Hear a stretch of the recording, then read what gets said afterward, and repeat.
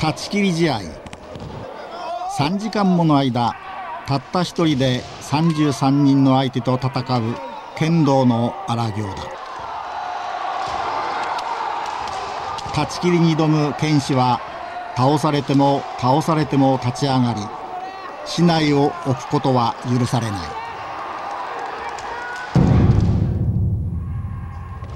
この断ち切りに上段の構えで挑んだ一人の剣士がいる。市内を頭上高く上げ続ける上段の構えは3時間の過酷な断ち切りに耐えきれないとこれまで言われ続けてきた。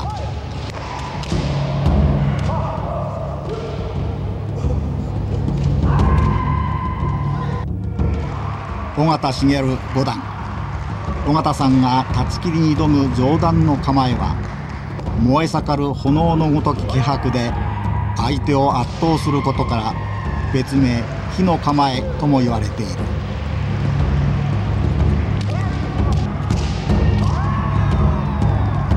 これは前人未到の戦いに挑んだ火の構えの剣士尾形茂五段の記録だ。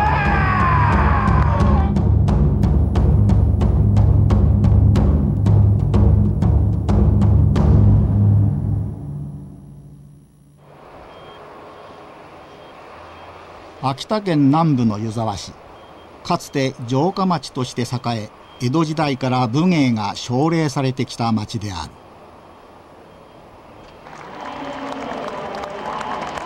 この湯沢市に東北各地から名うての剣豪たちが集まる日がある。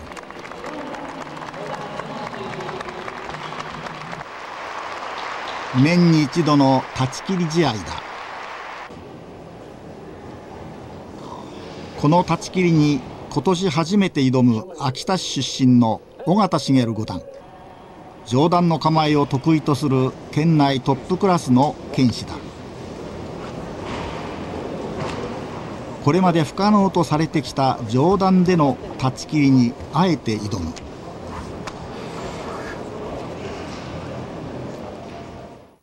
上段でしか試合したことありませんしそれ以外で試合するって頭ありませんし。えー、もし剣道の神様がいるんであれば、えー、自分に冗談で立てと言うだろうし。尾形さんが戦う33人の剣士たち。東北各地から集まった剣道4段から7段のつわものたちだ。尾形さんにとってどれも一筋縄ではいかない強豪ばかりだ。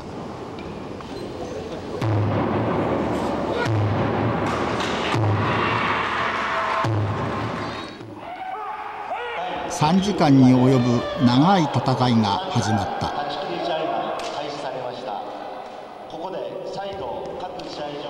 断ち切りは一人の剣士に対して33人の対戦者が休む暇も与えず次々と試合を挑んでくる。1人当たりの対戦時間は5分間。1本でも多く技を決めた方が勝ちだ。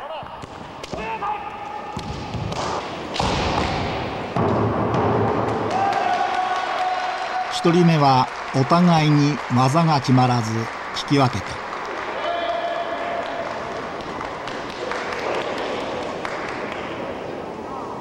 1人目が終わるとすぐに2人目の対戦相手がやってくる。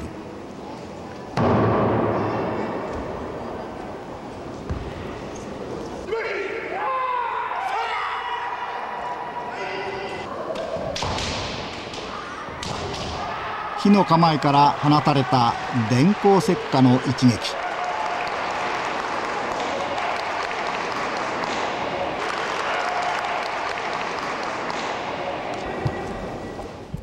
これで尾形さんに勢いがついた。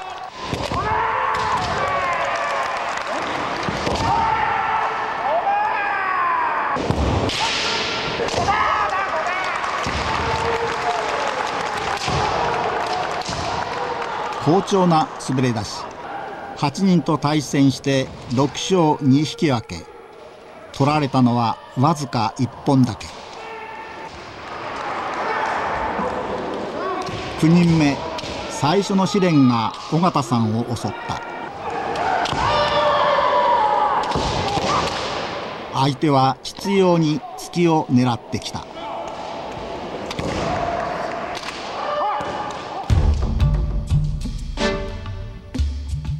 上段は攻撃的な構えである反面自分の胸や胴を常に相手にさらけ出している。相手はそこを狙ってくるのだ。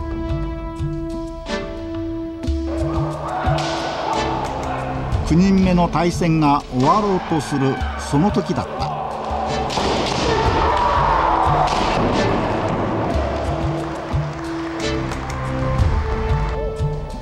面を打とうと踏み込んだ尾形さんの喉元に相手の竹刀が突き刺さった。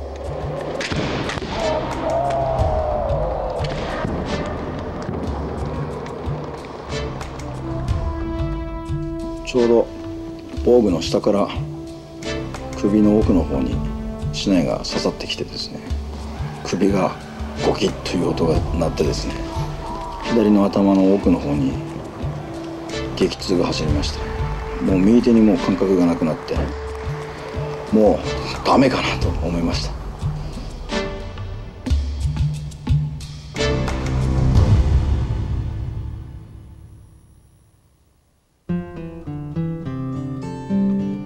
尾形さんが上段の構えを始めたのは高校時代。それまで剣道の経験は全くなかった。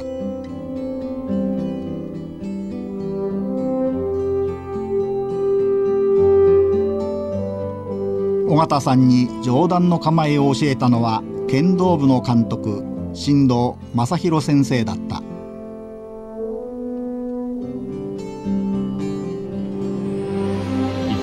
新藤選手は準々決勝青山選手を破っていますが決まった白3本。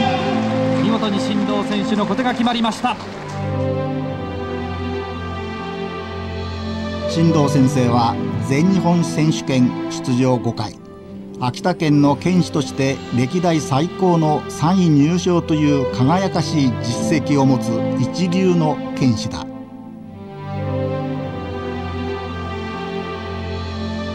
新藤先生が尾形さんに上段の構えを教えたのは生まれ持った手首の強さを最大に生かすためだった。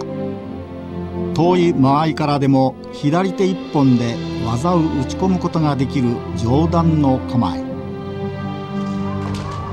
しかしそれはさらけ出した喉元が狙われやすいという弱点も併せ持っている。自分はまず新藤先生に「剣道の選手になりたいか?」って「選手でやってみたいか?」って言われたので「はい」という二つ返事でじゃあ上段をやれっていう形になりましたけど非常に無防備な構えなんですよね。で自分はもう剣道全然分かりませんでしたからその無防備な構えだっていうのもですね自分で取ってみてから分かったんですよね上段の構えを。人間ってこう月の部分を攻められると非常に恐怖を感じるんですよ。剣道やってから初めて分かったんですけど。でやっぱり疲れると痛いですし外れるとすごく赤く腫れたりですね皮がむけたりして痛いんですけどそれ怖いと思ってるうちは冗談はダメだって言ってよく疲れましたね恐怖心を克服させようと新藤先生は尾形さんの胸元が血で真っ赤に染まるほど毎日つき続けたという。その構えを維持していくためにはその本当に火のごとくの気持ちを持ってないとというか燃え盛るような激しい気持ちを持ってないとその構えをやってられないと思います。上段は火の構えとも呼ばれている。自らの恐怖心に打ち勝ち炎のような闘志で相手を威圧し続けなければならないからだ。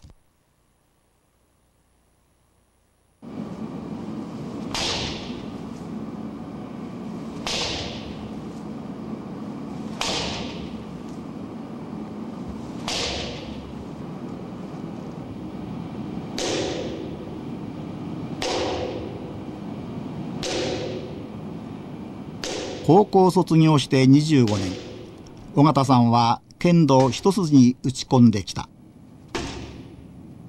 剣道を始める前に取り組んだサッカーやバスケットボールはどちらも長続きしなかった。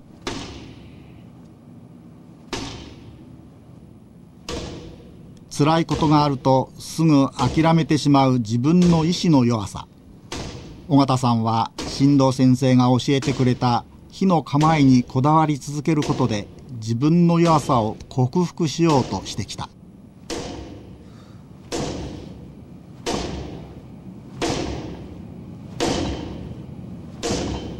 子供の頃とかは本当に弱い子供でしたから何一つこうまともに続けたことがなくてですね。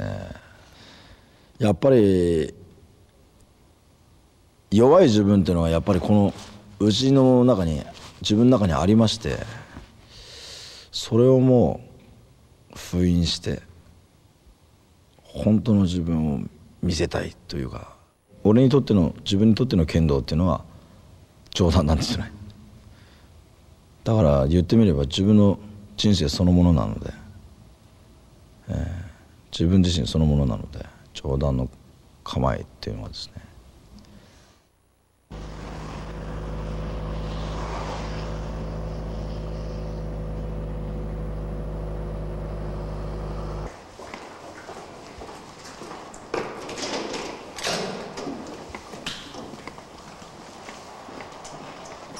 現在尾形さんは秋田刑務所の刑務官として働いている。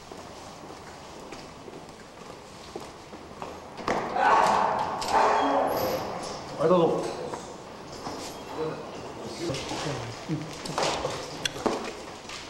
任務は受刑者たちの作業を指導監督することだ。一瞬たりとも気を抜けない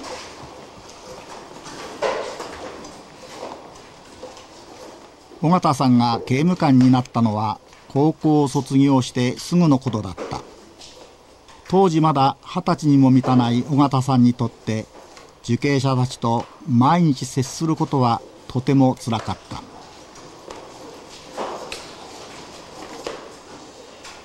刑務官になってから3年くらいは本当にいつでも辞めるつもりで辞表を持ってましたから胸のとこに。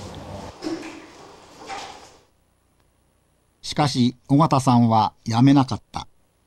新藤先生との猛稽古によって目の前の困難から逃げないことを学んだはずだ。尾形さんはギリギリのところで踏みとどまった。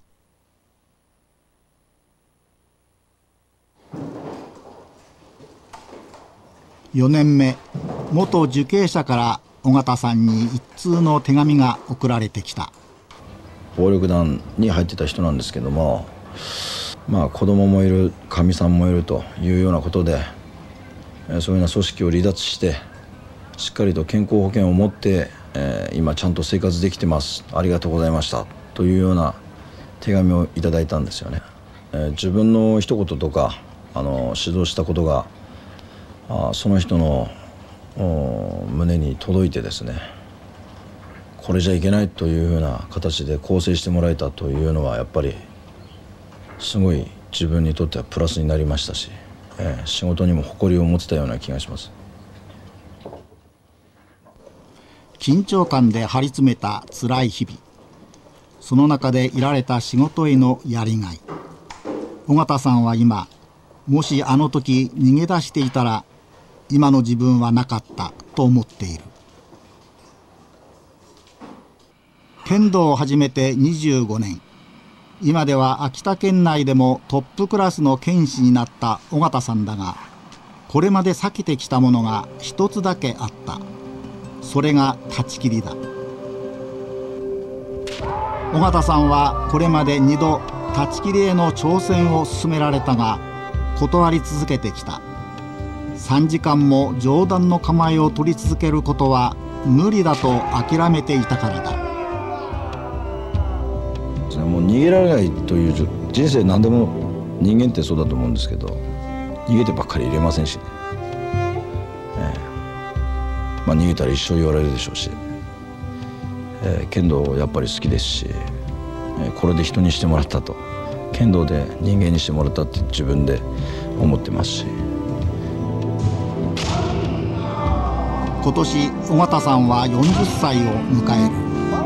断ち切りに挑むには限界の年齢。これが最後のチャンスだ。尾形さんの33番目の対戦相手に新藤先生が名乗り出た。自分が最後に待っていれば何が何でもたどり着こうとするはずだ。愛弟子への親心だった。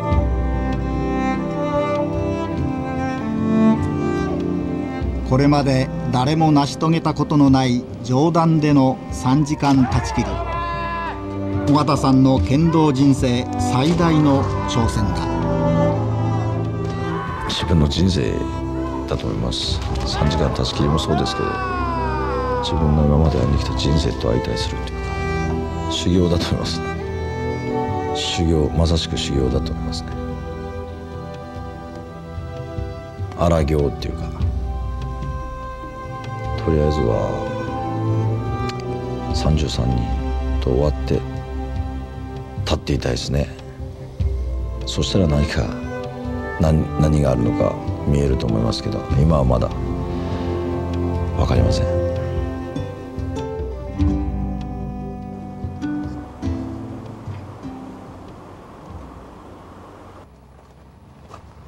断ち切りへの挑戦を前に尾形さんは体に大きな不安を抱えていた。去年10月頃から週の半分は整骨院に通っている。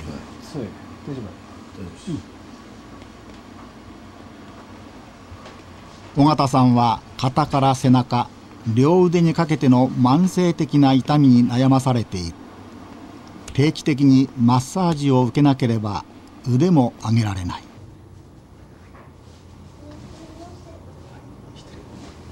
長い間対戦相手から喉元を狙われ続けてきた尾形さんは首の神経を痛めている。うんいわゆるムチ打ちみたいな状態でですね手の方までかなりしびれあと筋肉の張りがかなりきてるっていう状態ですか、えー、やっぱり手上げたりあと剣道するしない振るにはかなりやっぱり、うん、大変な感じの張り方がありますんでだからあんまり無理はやっぱりさせられないぐらいなんですけれども筋肉の張りがやっぱりかなりひどいです。練習いつもだったら100できてるところが50ぐらいで抑えなきゃいけないので50もできてるか分かんないのでもどかしいですよね。夢や。パパ10枚尾形さんが断ち切りに挑むことを決意したのは1年前。その間首から両腕にかけての痛みに悩まされ何度もやめようと思ったという。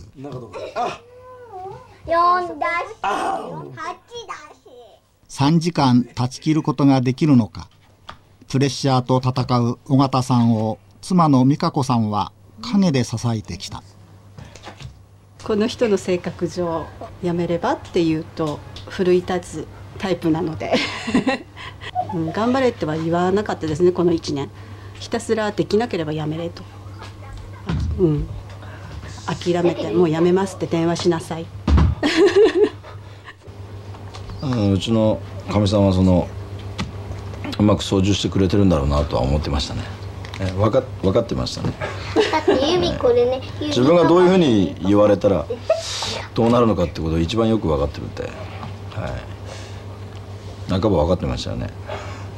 パパ私めくるよ、うん、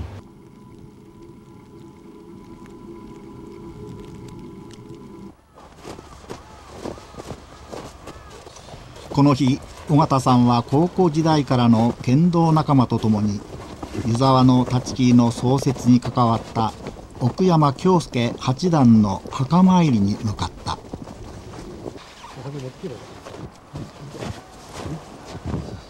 尾形さんは立ち切りが近づくにつれ次第に不安に駆られるようになっていた。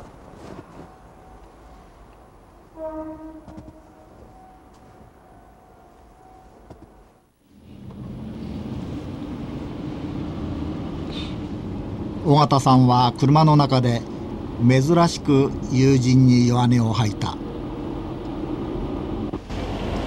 手はドラ一緒なんだけど。右手さえ普通にしてできればな。いいテクニックうん。冗談で3時間って非常に厳しいから。いや新しい考新しい。え考えてみれば3時間とかって言ったって今まで冬の寒稽古の時にうん。平気でまずな。やったわけですね。やっとったな。それ考えれば上げてること自体は何も問題ないわけですね。考えることは少しずつ減らしていった方がいいですよ。そうやってかい問題解決したことは。まだ消去できねえこといっぱいある。気持ち整理。気持ちの整理もできねえし。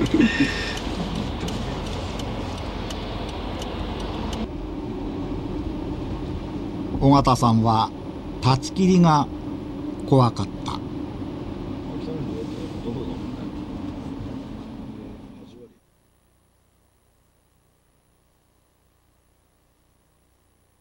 1月6日のことだった。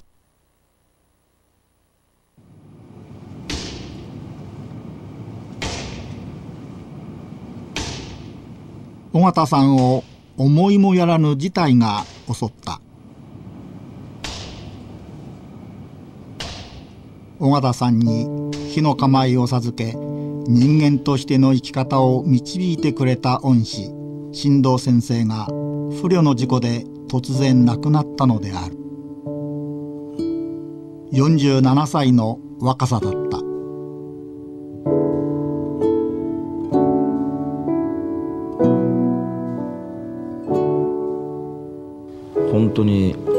自分が自分としてこう立っていれるようなこう基礎を作ってくれたのは新藤先生だっていうふうに思ってますので。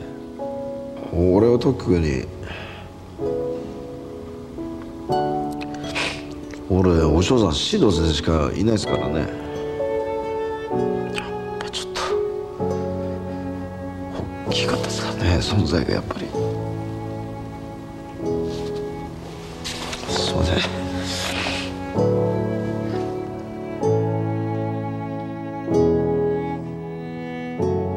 新藤先生は尾形さんの33人目の最後の対戦相手を務めることなくこの世を去ったのである。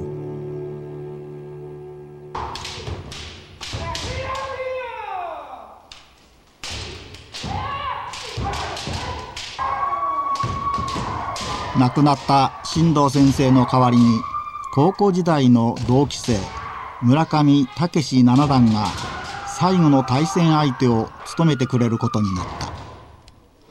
村上さんは新藤先生の後を継いで母校の剣道部の監督を務めている。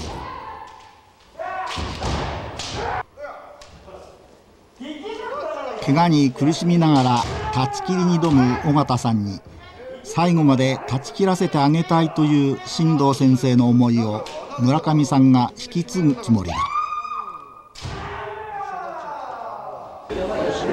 一番最後の気力をこう出し切るところをこう受け止めるっていうですね。いかに出させるかっていうのを絞り出させるかっていうのがあの役目としてあると思いますので、は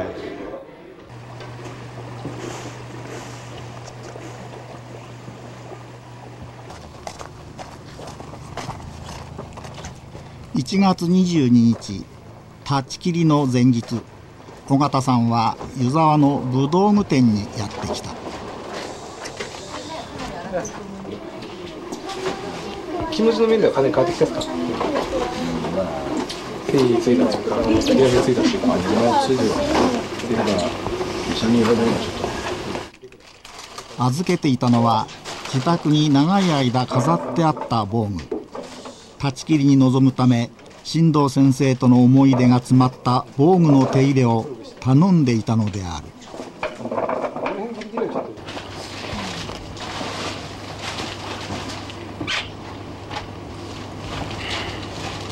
この色だったんだけど。この道はですね自分が初めて自分のお金で買ったんですよね。その時に新藤先生があの関西の職人さんにあざらえてくれたものなんです。つながってると思いますねこれで。一緒に戦うっていう感じそうですね。守ってくださいって感じ。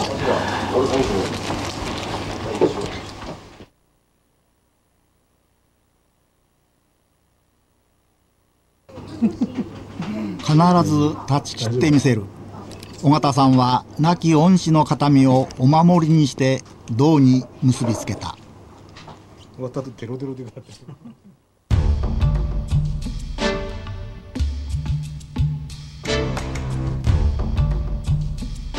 断ち切り試合9人目。相手の市内が首を直撃した。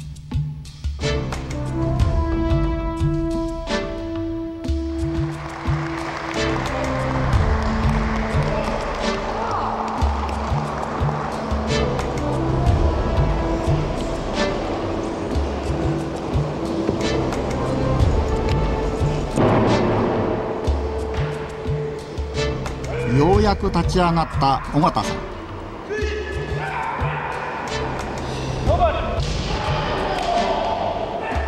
しかし手に感覚がない。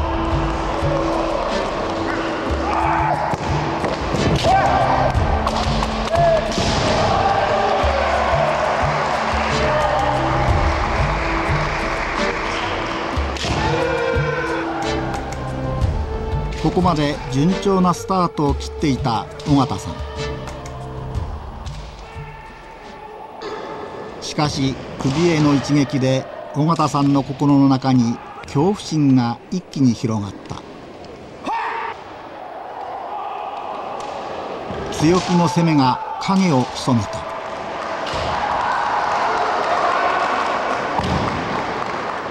下がんな。やもう辛くなってきてますね。なかなか構えてるのも容易じゃなくなってきます。もうもうちょっと気持ちだけで来てるんですか、ええ、そうです。でちょっと弱気になってきてるんで今カツ入れてやってるんですけど。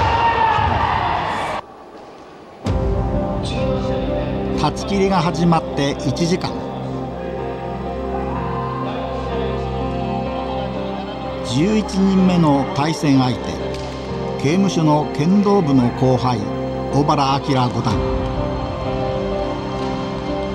小原さんは尾形さんの闘志にもう一度火をつけようと徹底的に前に出た。尾形さんって言えばもう気合の入ってる人だってすぐ分かるんで気合入ってる人が気合なくなっちゃったらね冗談もねダメになっちゃうから。火の構えはひとたび攻めの気持ちを失えばその威力をたちまち失ってしまう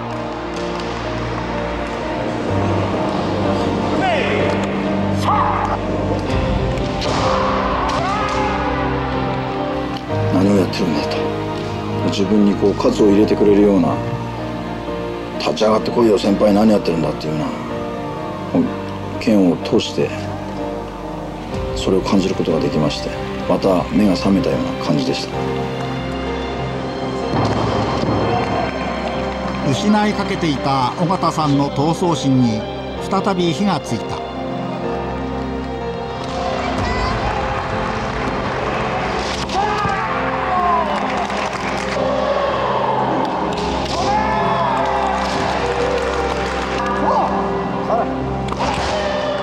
進藤先生から学んだ相手の突きを恐れず前に出る強気の攻めがよみがえった。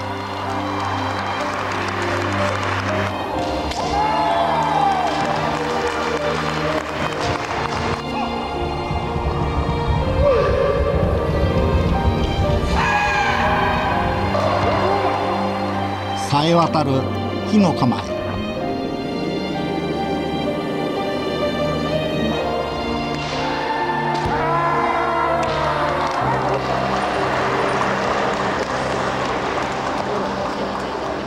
切りが始まって2時間。20人目を終え16勝4引き分け。まだ一つの負けもない。し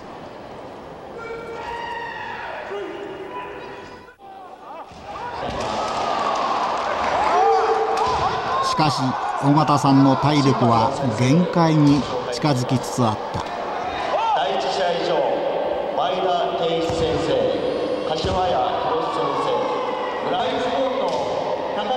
体力では圧倒的に有利なはずの対戦相手たち。ところが繰り出される技はことごとく尾形さんを捉えることができない。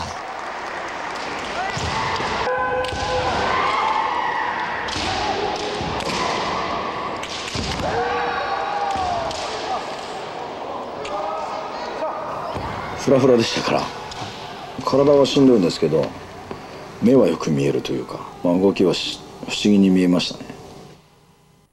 打たれる時も全部最後まで見えますから止まってるようにっていうかスローモーションで見える状況がもっと顕著になりましたね、はい、不思議な感覚でしたけど。ここまで来ないとこの感じは感じることができないのかっていうのかこういう感覚は得ることができないのかっていう感じで思いながらやってました。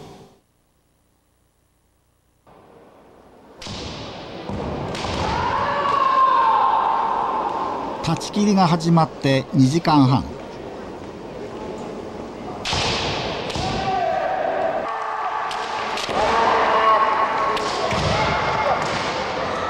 尾形さんの体力はすでに限界を超えていた。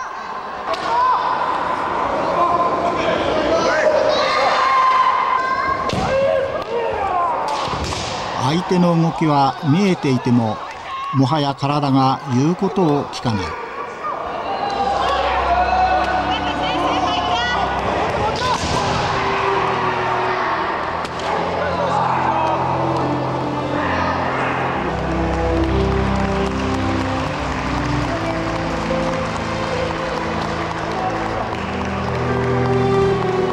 28人目が終わった。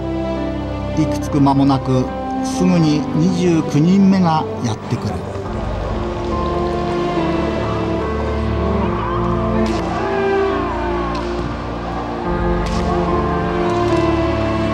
気持ちはしっかりしてるんですけれども体の方が全然ずっと後からついてくる感じで心と体がバラバラでした。間違いなく5分しかやってないと思うんですけどもう1人に対して10分以上もっとやらされてるような感じに襲われました。朦朧とする意識。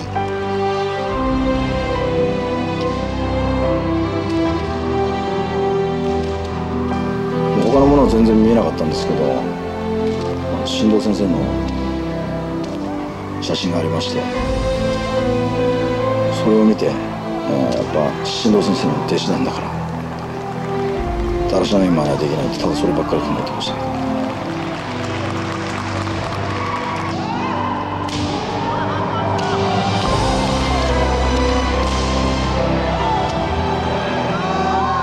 どんなに倒されても立ち上がる尾形さん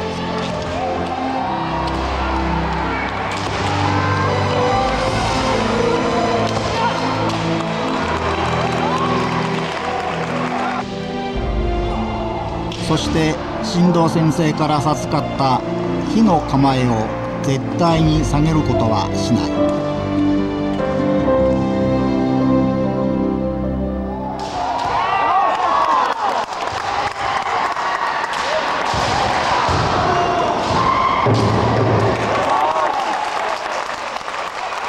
31人目が終わり残りはあと2人。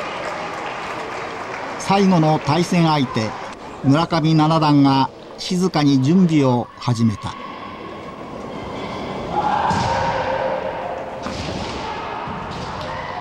その時村上さんが身につけた銅それは新藤先生が亡くなる直前まで愛用していたものだった。やる前には実は明かさなかったんですよね。フラフラの状態で気づくかなというのがあったんですけど進藤先生が最後、えー、相手を務めるというような雰囲気がですね少しでも出せればと思ってそれでつけたわけです。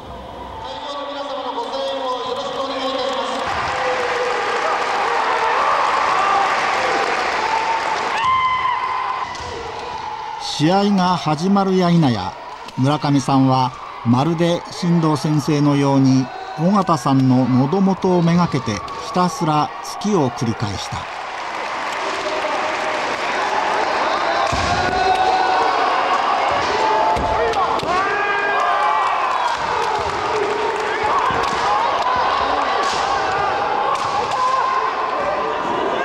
頑張れ！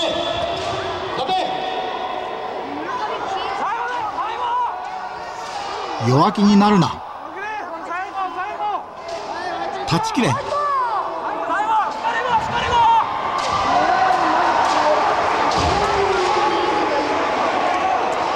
必死に市内を振りかぶる尾形さん。火の構えだけは崩さなかった。村上と対した時はもうパッと見た瞬間から新藤先生の動だっていうのが分かりまして。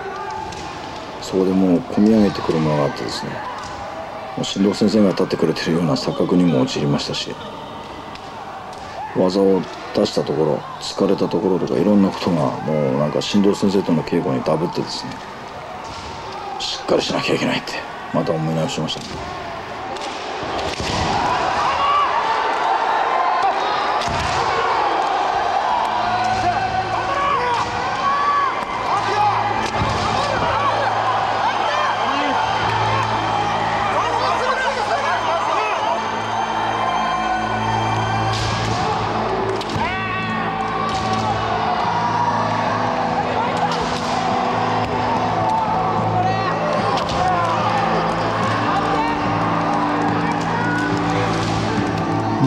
さんが声をかけたもう少しだろしっかりしろ返事はなかったんですけども、えー、上段に構えた時の目つきが闘争心に満ちたような目つきになってて徹底的に今度打ってやろうというような感じの雰囲気が伝わってきてました。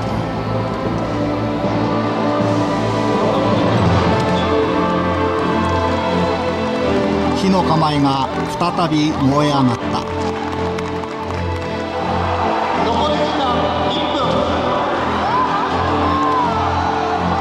押し出そうとする村上さん。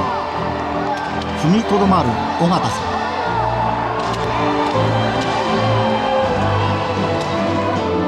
あれがやっぱり気持ちの表れじゃないですかね。強気の気持ちが本当に最終盤でまた特に限界を超えていると思うんですけども無意識のうちに、えー、向かってくる気がの表れじゃないですかね。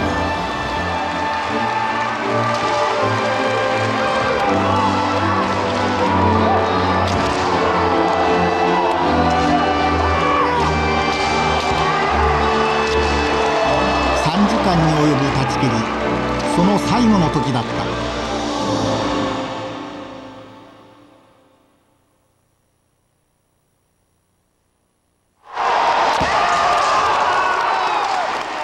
日一番の無心の一撃。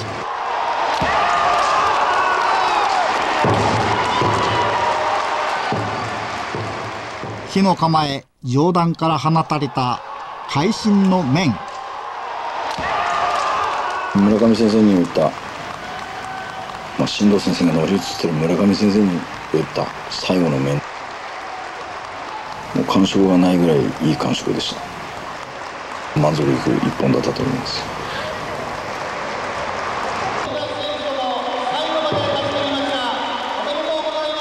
3時間の長い戦いが終わった。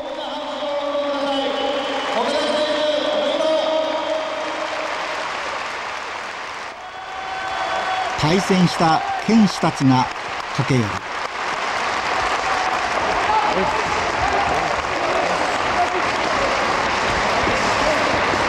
ましたどうも。どうもありがとうございましたありがとうございましたありがとうございま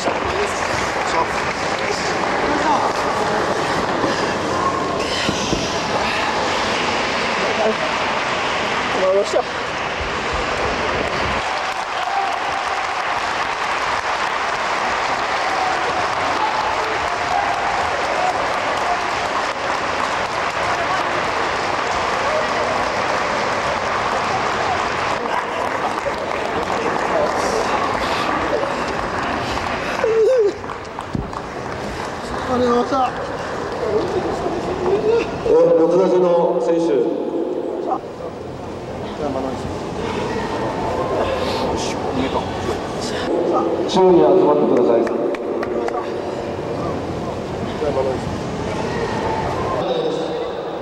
25勝2敗6引き分け。尾形さんは上段火の構えで3時間を断ち切った最初の剣士となった。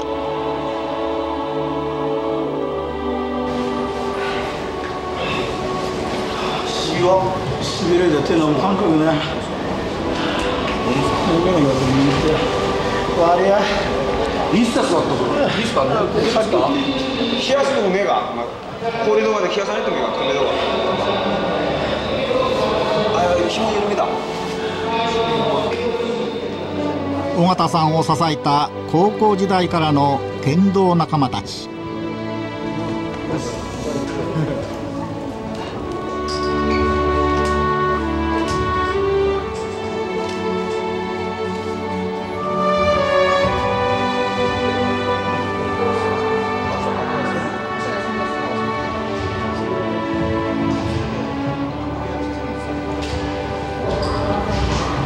新藤先生見てくれてるような記事で。ただそれだけで頑張りました。終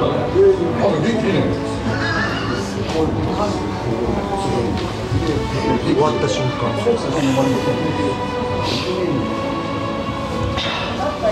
ちょっと情けなかったですけども本当しっかり立ちたかったですけど3時間本当立たせていただきましてありがとうございましたと言いたいです。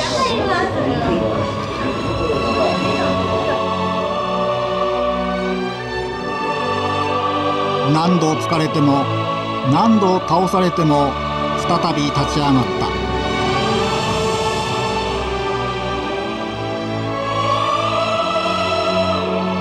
尾形茂五段。火の構えの剣士の見事な断ち切りだった。